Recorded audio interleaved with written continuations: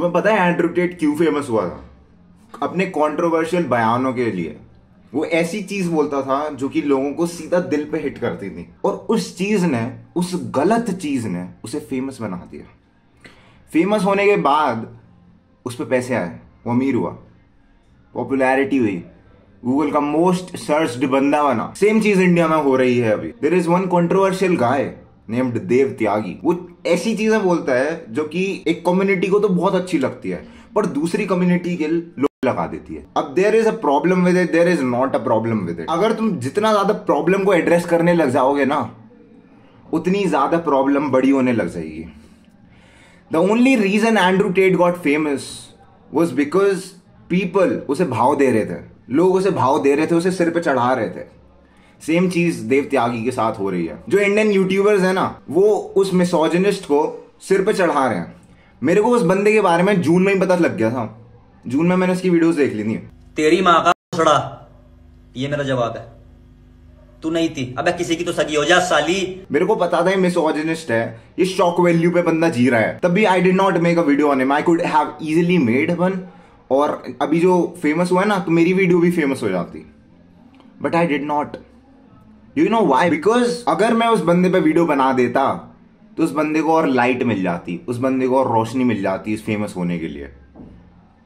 And that is what is happening right now जो भी ये घटिया से रोस्टिंग चैनल्स है ना इन सबने उस पर वीडियो बना दिया। सबने। वाई बिकॉज़ व्यूज़ आ रहे हैं ऑब्वियसली एंड उस व्यूज़ के चक्कर में वो देव त्यागी को फ़ेमस कर रहे हैं। और देव त्यागी फिर उन पर उल्टा बोल रहा है। तो ये जो लड़ाई चल रही है कॉन्ट्रोवर्सी सी बन चुकी है। इसके कारण दोनों पार्टीज़ को फ़ायदा हो रहा है। और पता है जो बीच में कुक हो रहा है जो बीच में दब रहा है इसके वो हो तुम। तुम हो बेवकूफ़। You are watching some controversy with other people and तुम उनमें उन्हें देख के खुश हो रहे हो भाई। हद है भाई। लाइक like, समझ आता है इन रियल लाइफ लड़ाई देखने में मज़ा आता है। But is it gonna help you क्या तुम्हारी मदद होगी? तुम्हारी मदद सिर्फ़ तुम ही कर सकते हो भाई मेरे। लाइफ है एक ही मिली है।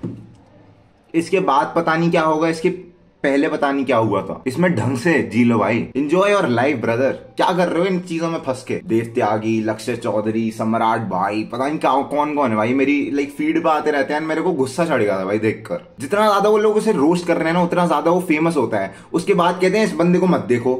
हद है भाई। तुम ही लोग ला रहे हो इस बंदे को कॉन्वर्जेशन में खींच कर और तुम ही कहते हो, इस बंदे को मत देखो।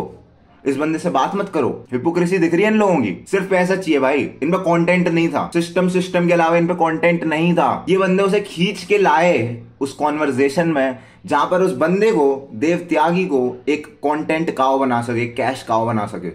जो ना बस पैसा दे रहा है, पैसा दे रहा है, पैसा दे रहा है। और तुम इतने मासूम, नादान, बेवकूफ़ हो, जो इन्हें देख रहे हो। तुम्हें भी पता है ब्रो मिसोजनी क्या होती है? तुम इन चीज़ों को सेंस कर लेते हो दूर से ही। तुम्हें एंड्रू टेट वाली फीलिंग आती है। But still you are watching it bro why तुम जो चीज़ पा नहीं पाते हो ना, तुम उन चीज़ों से हेट करने लग जाते हो। I know this guy I met one time वो बंदा कहता, मैं इंडिया क्लियर नहीं कर पाया, इसलिए मैं सारे आर्मी ऑफिशियल्स को हेट करता हूँ। It's same as that and the only reason these misogynist hate women is because इनकी लाइफ में ज़ीरो फीमेल इंटरेक्शन है। अपनी मम्मी की सिवाय किसी से बात नहीं करते। इनसेल बन चुके हैं ये लोग, जो अपने आप को सिग्मा बताते फिरते हैं। तुम्हारी लाइफ में जो चीज़ हो नहीं पाती ना, तुम उस चीज़ को हेट करने लग जाते हो। And that feeling is something that comes up in your head often उससे बस तुम्हें दूर रहना है। उसे दूर रख दो भाई। तुम्हें भी पता है, मेरे को भी पता है भाई लाइफ में प्रॉब्लम्स आएँगी ही आएँगी। बट क्या करें? It's a part of life stay humble ज़मीन पे रहो। खुश रहो कि तुम्हारे पास प्रॉब्लम्स आ रही हैं। एंड वो सब हो गया ना मिसोजनी वाली चीज़ें। तू स्मार्ट है भाई, तू मेरा सब्सक्राइबर है ना अगर। You are smart bro you know what is misogyny what is not respect women they are meant to be respected तू उस कल्चर में है जहाँ पे वुमेन को रिस्पेक्ट करनी चाहिए। तो उस मटीरियलिज्म के कल्चर में नहीं है ब्रो जहाँ पे सिर्फ़ वुमेन को डिश वॉशर बोलते हैं, जहाँ पे वुमेन से काम करवाते हैं, उन्हें धोबी बता देते हैं। You are not that guy we are actual respectful respectable people we are working for them we are working for us and इस अस में ऐसी मेहनत करेंगे कि साथ में ऊपर पहुँचेंगे। We are not reaching for the top भाई मेरे। We are reaching for the top of the top मेहनत करो बस। दैट्स ऑल यू नीड किसी को समझना, किसी से सुनना, ये सब फालतू की बकवास है ब्रो ये जो रिलेशनशिप टिप्स देते हैं उनसे तुम्हारी रिलेशनशिप और खराब होगी। दूसरों की टिप्स पे तुम क्यों दे रहे हो? Find our own ones that's I am doing that's what you have to do मज़ा उसी में है ब्रो थ्रिल उसी में है। बाकी रिलेशनशिप की तीसरे दिन उसे मैसेज करो, चौथे दिन उससे नंबर अबे बकवास है वो सब। What is the best is your own experience उसे एक्सपीरियंस करो। तुम्हें रिजेक्शन फेस होगा। तुम्हें अजीब लगेगा, तुम्हारे दोस्त चढ़ाएँगे। That is the beauty of it bro उस एक्सपीरियंस से निकलोगे ना, तब तुम्हें समझ आएगा, भाई, ये एक तो अलग ही चीज़ है। This was it for the video stop watching Dev Tyagi stop watching Lakshya Chaudhary to stop watching all these roaster YouTubers bro ये तुम्हारी लाइफ बर्बाद कर रहे हैं। तुम्हारा टाइम बर्बाद कर रहे हैं।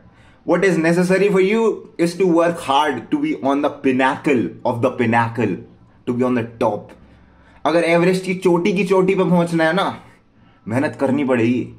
एंड रोस्टिंग यूट्यूबर से से टिप्स लेने से कि बंदी कैसे फंसाएँ, बंदी को बर्तन कैसे धुलाएँ, बकवास है सब। What you have to do is मेहनत। ग्राइंड सेट करते रहे भाई मेरे माइंड सेट तेरा बदल ही रहा हूँ, मेरी जान।